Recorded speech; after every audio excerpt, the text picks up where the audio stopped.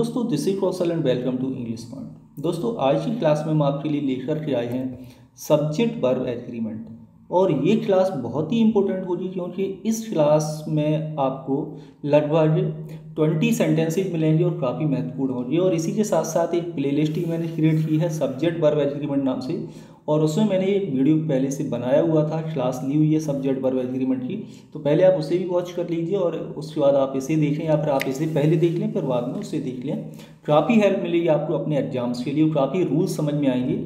होता क्या है कि मैं अपनी मोस्टली क्लासेस में एग्ज़ाम्पल के माध्यम से साथ में रूल्स और एग्ज़ाम्पल दोनों एक्सप्लेन करता हूँ तो इससे आपका टाइम भी बचेगा और आप ज़्यादा से ज़्यादा यहाँ पर सीख पाएँगे। यदि मैं रूल्स के लिए लेकर के आऊँगा, फिर मैं आपके लिए सेपरेट बनाऊँगा तो आपको काफ़ी टाइम स्पेंड करना पड़ेगा यूट्यूब पर। तो मैं नहीं चाहता कि आपका टाइम वेस्ट हो और आपकी पढ़ाई में कोई प्रॉब्लम आए। तो अभी तक आपने मुझे अभी तक इंग्लिश पॉइंट पर सब्सक्राइब नहीं किया तो प्लीज़ इसे सब्सक्राइब कर लीजिए एंड बेलाइकन को दबा दीजिए ताकि लेटेस्ट वीडियो आपको मिलती रहेंगी। तो आज मैं यहाँ पर स्टार्ट करूँगा सेंटेंस नंबर इलेवन से, क्योंकि इसके पहले मैंने टेन सेंटेंस बना दिया है। प्लेलिस्ट में जाइए और आप उसे वॉच कर लीजिए। आई बटन में भी आपको वो वीडियो ऊपर मिल जाएगा। ओके तो पहला सेंटेंस है the gentleman together with his wife and daughter were present and no error आपको बताना कि यहाँ पर कौन सी मिस्टेक है और कहाँ पर है? और सब्जेक्ट वर्ब एग्रीमेंट है तो आप बस ध्यान से सब्जेक्ट को देखिए और उसके बाद आप देखिए वर्ब को। तो आपको तुरंत समझ में आ जाएगा। दोस्तों, यहाँ पर है आपका the gentleman together with his wife and daughter तो यहाँ पर दो नाउन हैं जो टुगेदर विद से जुड़े हुए हैं। दो नाउन किससे जुड़े हुए हैं? टुगेदर विद से ये जुड़े हुए हैं। तो दोस्तों, याद कर लीजिए, जब भी कोई दो noun pronoun together with along with है ना? एज वेल एज आदि से जुड़े हों तो वर्ब हमेशा पहले वाले नाउन के अनुसार यूज़ की जाती है, ठीक? अब जो हमारा पहला नाउन है, वो है जेंटलमैन और मैन देखिए सिंगुलर है। वो तो यहाँ पर हमारी वर्ब कैसी है? प्लूरल तो हमें यहाँ वर्ग के स्थान पर वाच का यूज़ करना होगा, तब ये सेंटेंस हमारा करेक्ट होगा। हमें यहाँ पर वर्ब वाइफ एंड डॉटर यानी कि प्लूरल है, इसके अकॉर्डिंग यूज़ नहीं करना है। कब नहीं करना है? जब भी हमारे कोई दो नाउन या pronoun with along with together with as well as से जुड़े हों, तब तो याद रखिए। तो राइट ऑप्शन होगा वो होगा यहाँ पर, किसी पार्ट में यहाँ पर मिस्टेक है। ओके नेक्स्ट है sentence number twelve and sentence number twelve है it is in 2015 that we first flew to the United States आपको यहाँ बताना है कि सेंटेंस में कहाँ पर मिस्टेक है? देखिए पहला सेंटेंस है इट इज़ इन 2015 यानी कि ये 2015 है। लेकिन दोस्तों, अभी क्या चल रहा है? 2020 चल रहा है। And that we first flew जब हम पहली बार यूनाइटेड स्टेट्स के लिए गए, यानी बाई फ़्लाइट गए थे। तो ये किसमें लिखा है? पास्ट इंडेफिनेट में। और हम पास्ट के किसी एक्शन का कार्य बता रहे हैं और यहाँ पर पहले सेंटेंस में आपका लगा हुआ है इच तो कहने का मतलब है यहाँ पर इच के स्थान पर आपको का प्रयोग करना होगा, क्योंकि in in two thousand fifteen आपका पास्ट का टाइम हमें यहाँ पर बताता है। तो राइट ऑप्शन होगा कि आपका ए पार्ट में यहाँ पर मिस्टेक है। ओके नेक्स्ट है sentence number thirteen our country need a number of self sacrificing and devoted political leader अब हमें यहाँ पर देखना है सब्जेक्ट वर्ब एग्रीमेंट के अकॉर्डिंग कि कहाँ पर मिस्टेक हुई है। तो जैसा कि हम यहाँ पर देखें, हमारा सब्जेक्ट है our country okay and verb है नीड तो यहाँ पर हमें नीड के स्थान पर नीड्स का प्रयोग करना है, क्योंकि आवर कंट्री एक सिंगुलर नंबर है और ये सिंगुलर सब्जेक्ट के साथ हमें प्रेजेंट सिंपल टेंस में ऐसे ही एस का यूज़ करना होता है. तो यहाँ पर जो एरर है वो है आपका ए पार्ट में एंड यही पर आपकी सब्जेक्ट वर्ब एग्रीमेंट में मिस्टेक है. ओके तो नेक्स्ट सेंटेंस है, वो है आपका question number fourteen and question number fourteen है the issues are complex and has been obscured by other factors okay तो हम ध्यान से देखें तो हमारा सब्जेक्ट है अवर इश्यूज़ आर कॉम्प्लेक्स यानी जो हमारा सब्जेक्ट है, वो कैसा है? प्लूरल है आपका, ठीक है ना? सब्जेक्ट हमारा प्लूरल है एंड वर्ब भी यहाँ पर प्लूरल है, यानी हमारी जो इश्यूज़ हैं, वो कैसे हैं? कॉम्प्लेक्स हैं एंड जब भी दोस्तों एंड से कंजेक्स एंड कंजेक्शन लगा हो सेंटेंस में तो यहाँ पे जो एजुलरी वर्ब हैज़ है, इसका मतलब ये हुआ कि ये एजुलरी वर्ब इसी सब्जेक्ट के लिए प्रयोग हुई है। लेकिन इशूज प्लूरल होने के साथ साथ यहाँ पर हैज़ सिंगुलर लिखा हुआ है। तो यहाँ पर हैज़ के स्थान पर हमें हैव का प्रयोग करना होगा, क्योंकि सेंटेंस में जो द इश्यूज़ है, ये आपका प्लूरल सब्जेक्ट है। तो जो राइट ऑप्शन हो रहा है, वो हो रहा है आपका यहाँ पर बी पार्ट में मिस्टेक है। दोस्तों, ये आज की क्लास आपकी बैंक के लिए भी काफ़ी यूजफुल होगी। अभी एम पी टेट का एग्ज़ाम होने वाला है, उसके लिए भी। और कोई भी एग्ज़ाम जिसकी आप प्रिपरेशन कर रहे हो, जिसमें आपको इंग्लिश मिलने वाली है तो डेफिनेटली सब्जेक्ट वर्ब एग्रीमेंट से दो तीन क्वेश्चन नॉर्मली आ ही जाते हैं। तो इसलिए क्लास आपके लिए बहुत ही यूजफुल है। तो लास्ट तक देखिए, पूरा एंड तक।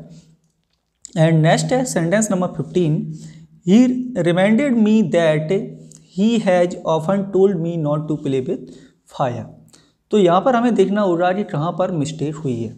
सेंटेंस लग रहा है ही रिमाइंडेड मी उसने मुझे याद दिलाया कि he has often told me अब यहाँ पर हम ध्यान से देखें, हमारा जो पहला सब्जेक्ट है, जो हमारा प्रिंसिपल क्लॉज है, ये लिखा हुआ है पास्ट सिंपल टेंस में।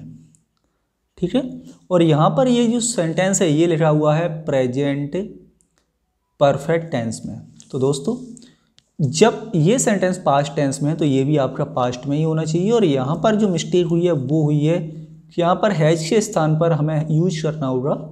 हेड का कहने का मतलब है कि हैज़ के स्थान पर हमें हेड का प्रयोग करना होगा क्यों और ये आपका नरेशन भी है, ध्यान से देखें तो रिपोर्टेड स्पीच में जब रिपोर्टिंग वर्ब आपकी पास्ट टेंस में होती है तो रिपोर्टेड स्पीच ही पास्ट में ही बनेगी और यहाँ पर होगा पास्ट परफेक्ट टेंस तो राइट ऑप्शन हो रहा है कि यहाँ पर बी पार्ट में मिस्टेक है। एंड नेक्स्ट है आपका sentence sentence number sixteen and sentence number sixteen है although it is summer now the weather at the hill station was quite pleasant अब हम देखते हैं यहाँ पर कि सेंटेंस में कहाँ पर मिस्टेक हुई है। देखिए, यहाँ पर आल दो इट इज़ समर नाव हालाँकि अभी क्या है समर है। The weather at the hill station और जो हिल स्टेशन पर जो मौसम है, वो कैसा था? क्वाइट प्लीजेंट तो जो मिस्टेक है, वो मिस्टेक है यहाँ पर सी पार्ट में। क्योंकि यहाँ पर वाच के स्थान पर हमें यहाँ पर इज़ का प्रयोग करना होगा, क्योंकि जो हमारा पहला सेंटेंस है, ये लिखा हुआ है प्रेजेंट में। एंड नाउ क्या शो करता है? प्रेजेंट को शो करता है।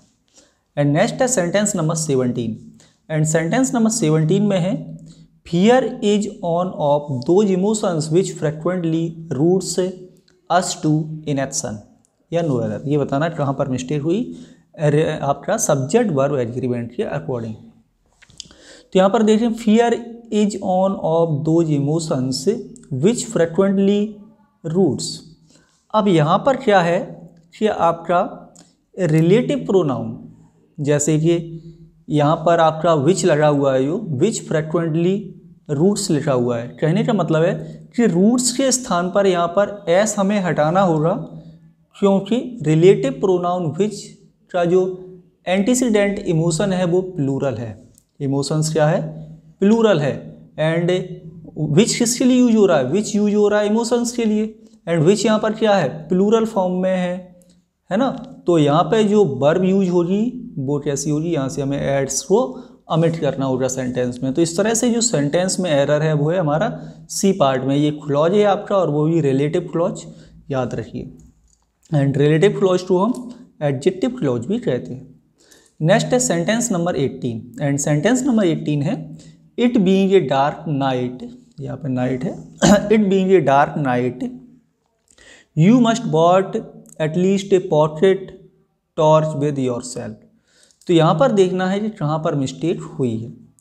ओके तो सबसे पहले हम देखें it being a dark night dark night होने के कारण यू मस्ट ब्रॉड ओहो यू मस्ट ब्रॉड ब्रॉड है आपकी एग्जुलरी वर्ब याद रखें एग्जुलरी वर्ब को हम हेल्पिंग वर्ब भी कहते हैं, और सभी एग्जुलरी वर्ब के आप के बाद आपको इन्फिनेटिव फॉर्म का प्रयोग करना होता है।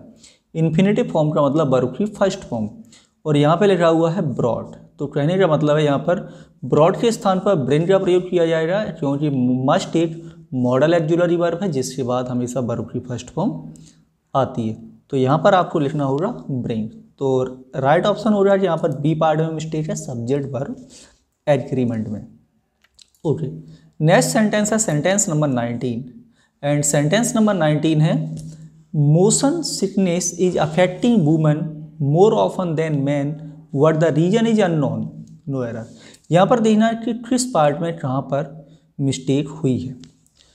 तो यहाँ पर हम ध्यान से देखें क्योंकि ये जो सेंटेंस है, ये है कि motion sickness is affecting women more often than man but the reason is unknown यानी कि ध्यान से हम देखें तो इस सेंटेंस में हमें जनरल ट्रूथ समझ में आता है। जनरल ट्रूथ एंड एक रूल है कि जब भी किसी सेंटेंस में जनरल ट्रूथ बताया जाता है तो वो सेंटेंस हमेशा प्रेजेंट सिंपल टेंस में ही बनाया जाता है। प्रेजेंट सिंपल टेंस का मतलब प्रेजेंट इंडेफिनिट टेंस तो यहाँ पे जो इज़ अफेक्टिंग है प्रेजेंट कॉन्टिन्यूस लिखा हुआ है, इसे हमें बनाना होगा प्रेजेंट सिंपल तो यहाँ पर हमें लिखना है, आपका motion sickness affects women more often than man but the reason is unknown तो राइट ऑप्शन हो रहा है आपका ए पार्ट में मिस्टेक है सब्जेक्ट वर्ब एग्रीमेंट के अकॉर्डिंग नेक्स्ट है sentence number twenty and sentence number twenty में है more leisure as well as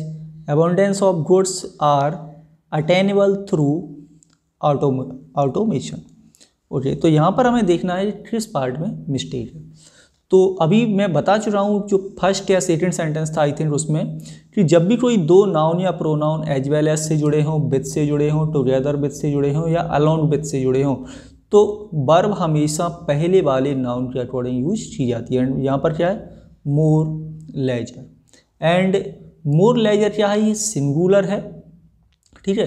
तो यहाँ पर आर के स्थान पर सिंगुलर वर्ब का प्रयोग किया जाएगा और यहाँ पर आएगा आपका इच तो राइट ऑप्शन हो कि आपका सी पार्ट में यहाँ पर मिस्टेक हुई है। ओके नेक्स्ट है सेंटेंस आपका sentence number twenty one and sentence number twenty one में है if any of the funding father of our constitution was to return to life for a day his opinion of our amendments would be interesting okay तो यहाँ पर हमें देखना है कि किस सेंटेंस में कहाँ पर मिस्टेक हो रही है सब्जेक्ट वर्ब एग्रीमेंट के अकॉर्डिंग तो यहाँ पर हम ध्यान से देखें if any of the founding father of our constitution was to return to life for a day his opinion of our amendments would be interesting तो यहाँ पर वाज के स्थान पर आपको यूज़ करना होगा वर क्योंकि यहाँ पर जो सेंटेंस लिखा हुआ है कंडीशनल क्लॉज इफ़ से, जो क्या बताता है? ये बताता है आपको अनफुलफिल्ड डिज़ायर यानी कि सीधे सीधे कहें कि जब भी सेंटेंस आपका ये हमारे मूड होते हैं कंडीशनल कंडीशनल मूड होता है तो कंडीशनल मूड में क्या होता है कि हमारा सब्जेक्ट सिंगुलर होते हुए भी हमें वहाँ पर वर्ब को प्रयोग प्लूरल वर्ब का प्रयोग करना होता है, जैसे आपने पढ़ा होगा। If I were a bird if I were you तो कहने का मतलब होता है कि यहाँ पर ये मैंने केवल इमेजिन किया है बट ऐसा रियल में नहीं हो सकता। कहने का मतलब यहाँ पर ये होता है। तो ऐसी सिचुएशन में सिंगुलर सब्जेक्ट होते हुए भी हमें वर्ब प्लूरल प्रयोग करनी होती है। इसलिए यहाँ पर यूज़ करना होगा हमें वर्ग का। कि if any of the funding father of our constitution were to return to life और a day opinion of our amendments would be interesting तो यानी कि ये काम अब हो नहीं सकता। मैंने केवल ऐसा इमेजिनेशन किया है और इफ़ कंडीशन से तीन तरह के सेंटेंस बनते हैं। जैसे आपका प्रोबेबल कंडीशन होती है इम्प्रोबेबल कंडीशन होती है एंड इम्पॉसिबल कंडीशन होती है। तो यहाँ पर आपका इम्प्रोबेबल कंडीशन में सेंटेंस लिखा हुआ है। नेक्स्ट है sentence number twenty two and sentence number twenty two है the boys work slowly for they knew that as soon as they finish one exercise the teacher would tell them to do the next okay तो यहाँ पर हमें देखना है कि sentence में क्या मिस्टेक हुई है। तो सेंटेंस देखिए ध्यान से the boys work slowly for they knew sentence आपका लिखा हुआ है पास्ट टेंस में, ठीक है? दे न्यू वे जान, इन लड़कियों ने स्लोली काम किया क्योंकि वे जान, उन्हें पता था कि जैसे ही वो इसे फिनिश करते हैं, ये लिखा हुआ है प्रेजेंट सिंपल टेंस में। और हमारी बात किसमें हो रही थी? पास्ट टेंस में।